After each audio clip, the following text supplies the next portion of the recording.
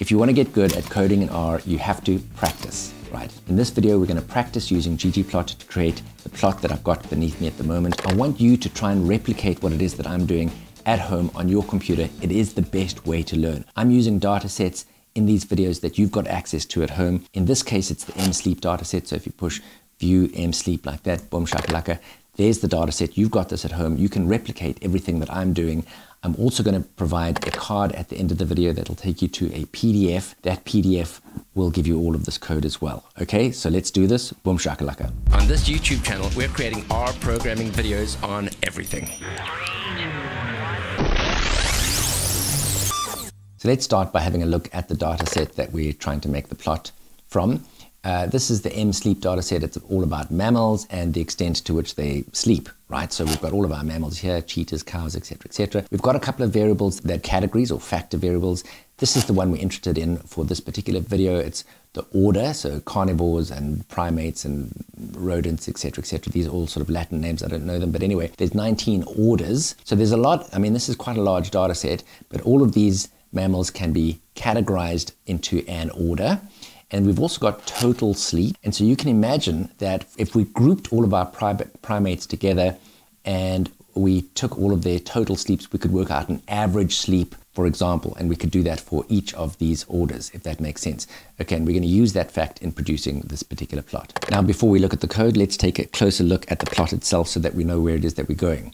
Right, what we've got is on the x-axis, we've got all of those the orders this you know the order of primates right? So we've got uh, you know carnivores and um, etc etc uh, not the order of primates the order of mammals right? Those are the categories. Then on the x-axis i've got their hours but actually that's total sleep. That's taken from the total sleep variable. Then these colored dots these are the average sleep time for that particular order right? So any particular order has got an average. We've created a little dot there. The horizontal line is the average sleep for all mammals. Then those little vertical lines basically join. It shows you how far away the average sleep for that order of mammal is from the average for all mammals. Okay, and we call this a lollipop graph. There might be other names for it. I call it a lollipop graph. Okay, it really is kind of a nice visual.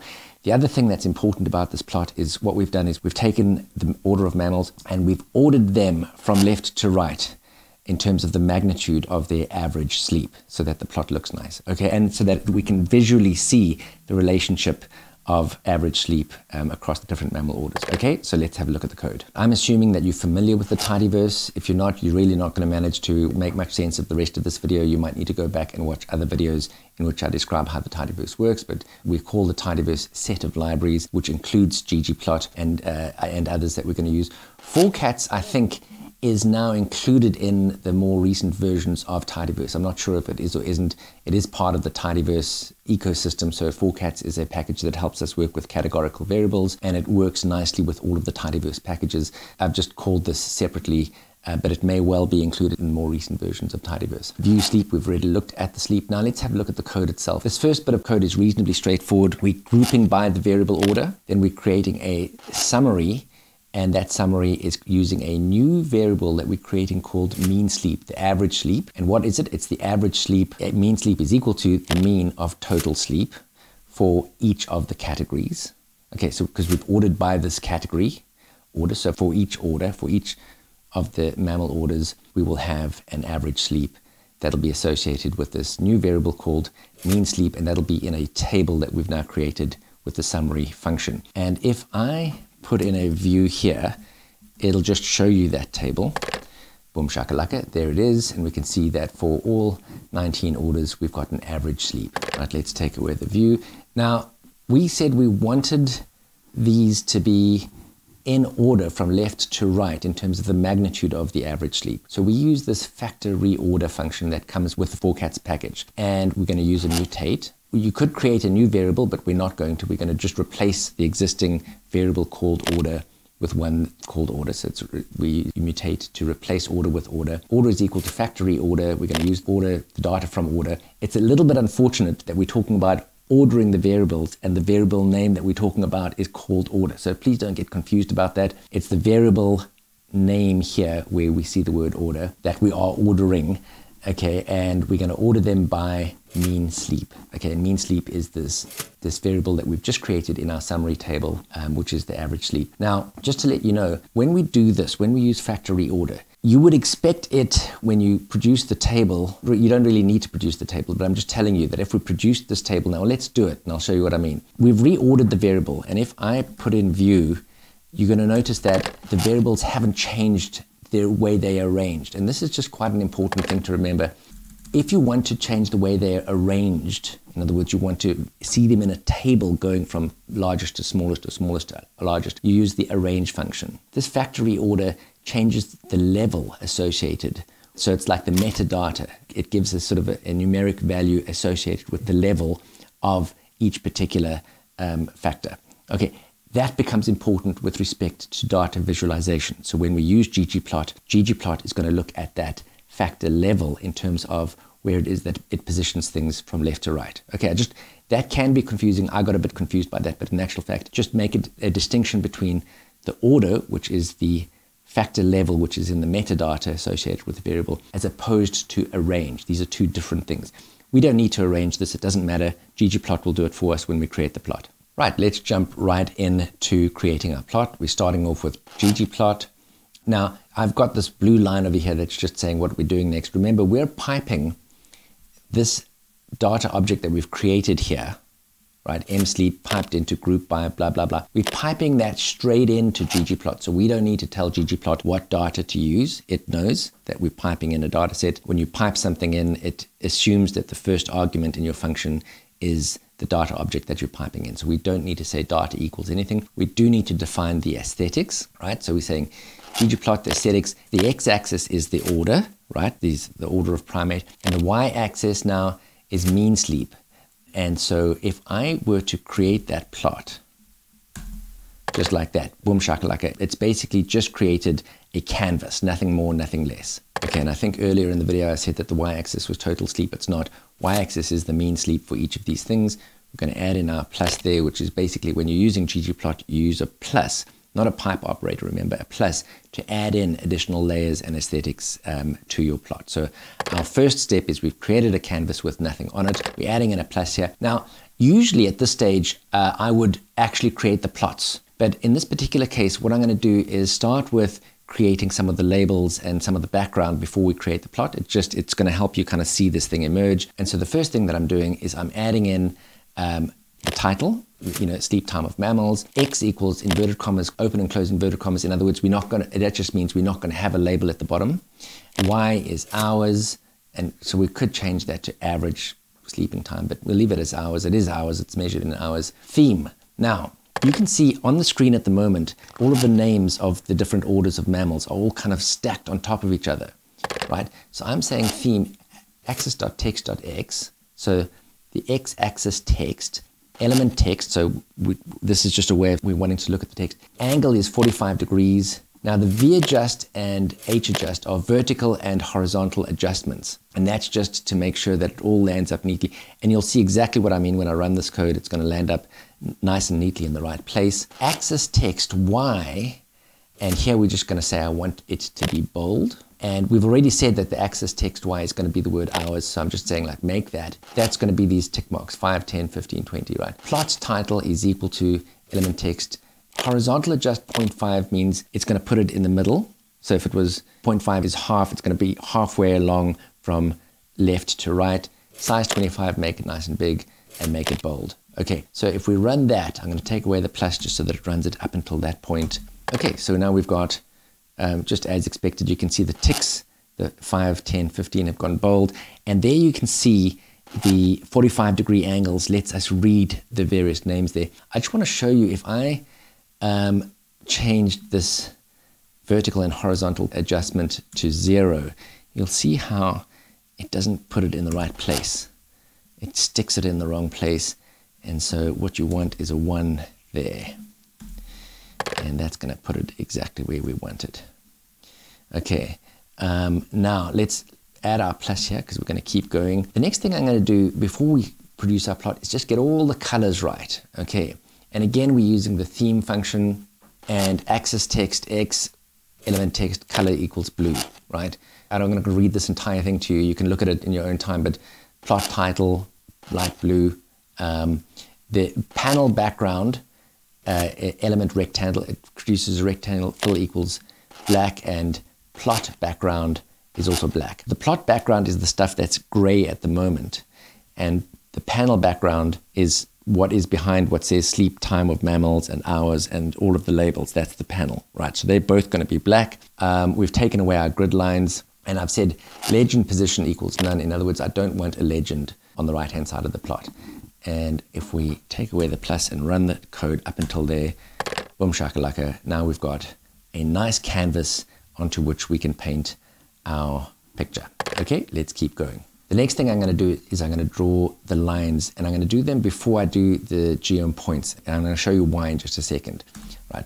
Let's draw the lines and then I'll walk you through the code. So we've got two things that we've done here in sort of, they're two separate steps, but I'll walk you through the whole thing. In the middle, we've got a horizontal line, which is the average sleep for all mammals right? And we're drawing a line on the thing. So let's let's look at the code up here. This is how we draw the line, and we've got geom H line, horizontal, that stands for horizontal line. If you're drawing a horizontal line, really in terms of being able to draw the line, the only thing you need to do is to define the y-intercept. Define the y-intercept and you're drawing a horizontal line, boom shakalaka, you've got a line. You can then add other aesthetics like the color and the size, which is what we've done here. To define the y-intercept, we've just simply said mean of sleep total of the M sleep data set. Okay, so y-intercept is equal to mean sleep total mean of m sleep dollar sign sleep total. All right, so that's given us the y-intercept. Then I've said make it light blue and make it size 1, so it's a little bit bigger than it might have otherwise been. Then plus, now here are our little segments. When you do these segments, each of these segments have got two things you have to define, a start point and an end point, right? So we've got a start point, x and y, and x end and xy for the end point of the line, okay?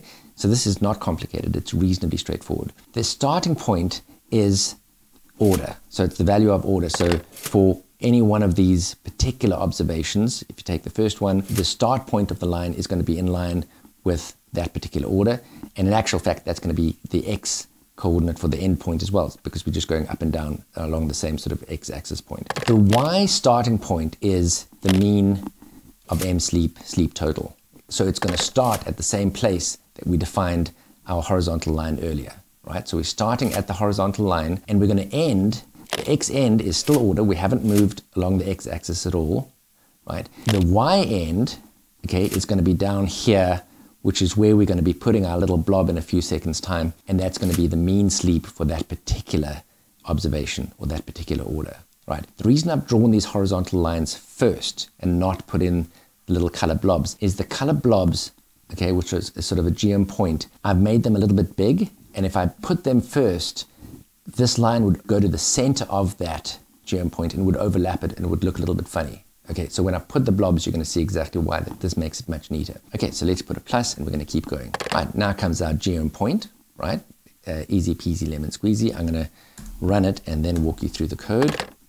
Okay, geom point is going to put a little dot and um, the aesthetic is going to be color equals mean sleep. Basically, I'm saying I want the color to be mapped against the value of mean sleep, right? And I'm going to tell you in a second how it's going to do that map. And size equals 5. Now, because I've wanted them to be nice and big. Now, can you see, if you look at these blobs, these points that are now nice and big because their color equals 5, the line that has come down that we made just now, that segment, would ordinarily go all the way to the middle of that geom point and it would look a bit odd. But because we've layered it first the segment, then the blob, um, it gives a nice sort of lollipop effect. Okay, you got that? If we made this even bigger, it still wouldn't matter because as it expanded, it would just overlap and hide that little bit of the segment. So it makes it quite neat. Now, scale color gradient. Um, basically, it, it sounds like we're having a gradient of colors starting at, in this case, hot pink and ending on yellow. It'll produce a scale color all the way in between those two. I said hot pink and yellow. It's quite nice against a black background. Okay, and so that's our geom point, easy peasy, lemon squeezy. Next, we're going to add the annotation, and I'm just going to run that and then talk you through the code that's needed to get there. Right, so the, we say the, the function is annotate. So we've got a, just a plus sign here, and this is how ggplot works. You put a plus sign and it adds another layer. The function is annotate. We're annotating, we're popping in some text here. Now, it's going to put in some text, but we need to tell it where to put the text, right? And again, you've got an x and a y coordinate, right? So we're saying x is 4. So you'll see if you counted one, two, three, four of these observations and go up, you can see that's where the text is starting. So we're saying x is 4, y is equal to, and now this is just to illustrate that you don't have to put a number. You can actually put some sort of uh, coding to determine where it puts the y. You could do that with any of these things. And I've said maximum sleep total minus 4. So, you know, the maximum minus 4 that puts us at about here. So 20 minus 4 puts us at about there. And then, okay, now this is also important. Label equals average sleep. This little downward slash, people say up, uh, forward or backslash. I kind of think if you're going from left to right, downward makes more sense. Downward slash n means new line for all mammals. So you can see we've got this over two lines. Average sleep for all mammals. The downward slash n, it tells it to go on to the next line. Color equals, I just chose kind of a neutral color. Size equals 4, make it bold. H adjust equals naught means where we've defined that's horizontal adjustment, right? Left and right. And we've said equals naught because we've said x equals 4, we want it to start at that point. In other words, the horizontal adjustment starts from where that 4 is and then writes the text after that. Okay, so that's going to produce the average sleep for all mammals as a text annotation. Okay, let's add a plus and we're going to add in our arrow next. Okay, so the last thing we need to do is add in our arrow. I'm going to run the code and then I'll walk you through it. There's our nice, beautiful little arrow. And here, very similar, the, the same sort of principles apply. x equals 3.7, right? So for the beginning of our text, we said x equals 4. So I wanted the arrow to start slightly to the left of that, so 3.7. y is equal to maximum sleep total minus 5, right? So we said that the text was going to start at minus 4. I wanted the arrow to start at minus 5, so down uh, a little bit further. So remember, we're creating a curve here. And so once again, we've got that x and y that I've just described represents the beginning of the arrow. X, so you know that x equals 3.7 and y equals maximum sleep minus 5. It's the beginning of the arrow. Where's the arrow going to end? Well, uh, along the x-axis, it's going to be 1.5. So I wanted it to land up somewhere in between two of these vertical lines so that it didn't feel as if we were pointing to a particular observation. So I said 1.5 y is equal to, and this is our little formula that gives you the horizontal line, uh, the mean of uh, m sleep equals sleep total. All right, so that just tells you the beginning and the end of the arrow. Then we've given the arrow a color, we've given it a curvature. 0.5 is kind of nice. If you made that bigger, it would be kind of more of a curve. And I can actually show you, let's make that 0.8 and watch what happens to the curve when I do that. It makes it slightly, it's a little bit odd. I think 0.5 actually is nicer. Size is 0.5, that's just how thin it is. We could make it thicker by making it 1 or 2, etc., etc., but that seems to work.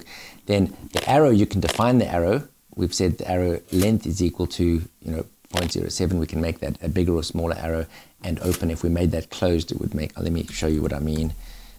Closed, and it makes it a closed arrow like that. But I think open is nicer. Now, on the screen at the moment, what you're going to see is a little a card that you can click on, and that'll give you a PDF of all of this code that you can use to go through it. I hope you enjoyed that. Um, I hope that was helpful. Don't ever change, don't do drugs, always do your best. See you next time. We're going to do more of these practice videos. Boom shakalaka.